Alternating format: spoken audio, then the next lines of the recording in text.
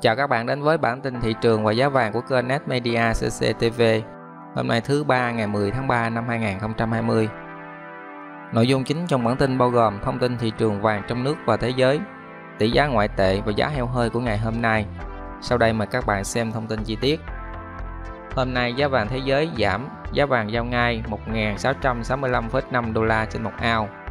Giá vàng trong nước có khuynh hướng tăng giảm trái chiều, Lúc 10 giờ 30 phút sáng nay, giá vàng miếng trong nước được tập đoàn Hoàng bạc đá quý Doji niêm yết tại Hà Nội. Mua vào 47 triệu đồng một lượng, bán ra 47 triệu 650 nghìn đồng một lượng. Giữ nguyên giá chiều mua vào và giảm 50 nghìn đồng ở chiều bán ra. Tại thành phố Hồ Chí Minh, mua vào 47 triệu đồng một lượng, bán ra 47 triệu 700 nghìn đồng một lượng, tăng 100 nghìn ở chiều mua vào và tăng 300 nghìn ở chiều bán ra. Tại Đà Nẵng niêm yết mua vào 46 triệu 900 nghìn đồng một lượng, bán ra 47 triệu 600 nghìn đồng một lượng, giữ nguyên giá ở chiều mua vào và giảm 200 ở chiều bán ra. Công ty vàng bạc đá quý Sài Gòn niêm yết giá vàng tại Hà Nội mua vào 47 triệu 050 nghìn đồng một lượng, bán ra 47 triệu 670 nghìn đồng một lượng, cùng tăng 100 nghìn đồng một lượng ở cả hai chiều mua vào và bán ra. Tại thành phố Hồ Chí Minh niêm yết mua vào 47 triệu 050 000 đồng một lượng, bán ra 47 triệu 650 000 đồng một lượng, tăng 100 000 đồng một lượng ở cả hai chiều mua vào và bán ra. Tại Đà Nẵng niêm yết mua vào 47 triệu 050 000 đồng một lượng, bán ra 47 triệu 670 000 đồng một lượng, cùng tăng 100 000 đồng một lượng ở cả hai chiều mua vào và bán ra. Công ty vàng BNG niêm yết giá vàng tại Hà Nội mua vào 46 triệu 700 000 đồng một lượng, bán ra 47 triệu 600 nghìn đồng một lượng, giảm 200 nghìn đồng ở chiều mua vào và giảm 250 nghìn đồng ở chiều bán ra. Tại thành phố Hồ Chí Minh niêm yết mua vào 46 triệu 700 nghìn đồng một lượng, bán ra 47 triệu 600 nghìn đồng một lượng, giảm 200 nghìn đồng ở chiều mua vào và giảm 250 nghìn đồng ở chiều bán ra. Tại Đà Nẵng niêm yết mua vào 46 triệu 700 nghìn đồng một lượng, bán ra 47 triệu 600 nghìn đồng một lượng, giảm 200.000 đồng ở chiều mua vào và giảm 250.000 đồng ở chiều bán ra. Giá vàng Bảo tính Minh Châu niêm yết tại Hà Nội mua vào 46 triệu 490 000 đồng một lượng, bán ra 47 triệu 540 000 đồng một lượng. Giảm 300.000 đồng một lượng ở mua vào và giảm 150.000 đồng một lượng ở chiều bán ra.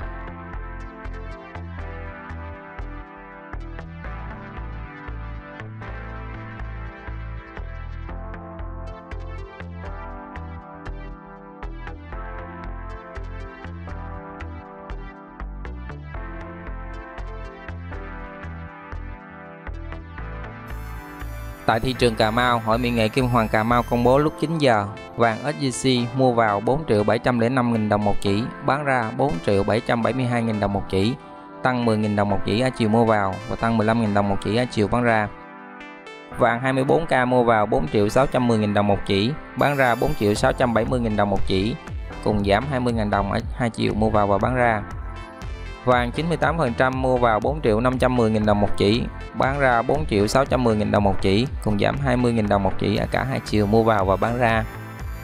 Vàng nữ trang 18K 75% mua vào 3 triệu 430 nghìn đồng một chỉ, bán ra 3 triệu 630 nghìn đồng một chỉ, cùng giảm 20 nghìn đồng một chỉ ở cả hai chiều mua vào và bán ra.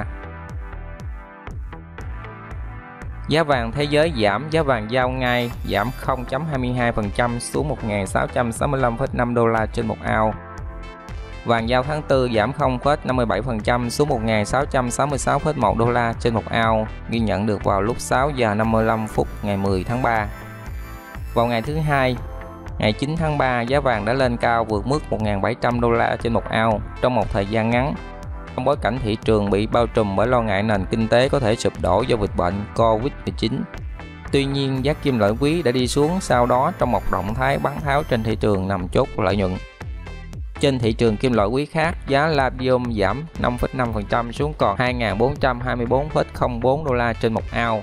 Giá bạc giảm 2,2% xuống 16,94 đô la trên một ao, trong khi giá bạch kim giảm 3,4% xuống mức 870,56 đô la trên một ao.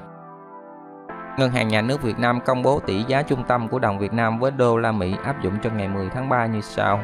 1 USD bằng 23.190 Việt Nam đồng.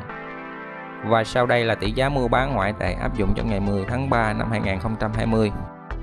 Đồng đô la Mỹ mua vào 23.175 Việt Nam đồng, bán ra 23.836 Việt Nam đồng. Đồng euro mua vào 25.599 Việt Nam đồng, bán ra 27.182 Việt Nam đồng. Yên Nhật mua vào 218 Việt Nam đồng, bán ra 231 Việt Nam đồng. Bản Anh mua vào 29.375 Việt Nam đồng, bán ra 31.192 Việt Nam đồng. Phô răng Thị Sĩ mua vào 24.164 Việt Nam đồng, bán ra 25.659 Việt Nam đồng. Đô la Úc mua vào 14.811 Việt Nam đồng, bán ra 15.728 Việt Nam đồng. Đô la Canada mua vào 16.472 Việt Nam đồng, bán ra 17.491 Việt Nam đồng. Giá heo hơi hôm nay tại miền Bắc chạm kỷ lục mới. Giá heo hôm nay miền Bắc tiếp tục đà tăng với mức tăng từ 2.000 đồng đến 4.000 đồng 1 kg tại nhiều tỉnh thành. Cụ thể, giá heo tại Thái Nguyên tăng nhiều nhất là 4.000 đồng 1 kg, lên 86.000 đồng 1 kg. Tại Hà Nội trong ngày giá heo hơi cũng tăng 3.000 đồng 1 kg, đạt 92.000 đồng 1 kg. Đây là mức giá cao nhất của khu vực này. Ngoài ra Lào Cai báo giá heo hơi hôm nay tăng 2.000 đồng, đạt 87.000 đồng 1 kg. Riêng Tiên Quang quay đầu giảm từ mức kỷ lục 90.000 đồng 1 kg xuống còn 85.000 đồng 1 kg. Các địa phương như Hưng Yên, Thái Bình giá heo xuất chuồng vẫn giữ mức cao 90.000 đồng 1 kg. Thấp nhất là Ninh Bình với giá báo về là 83.000 đồng 1 kg.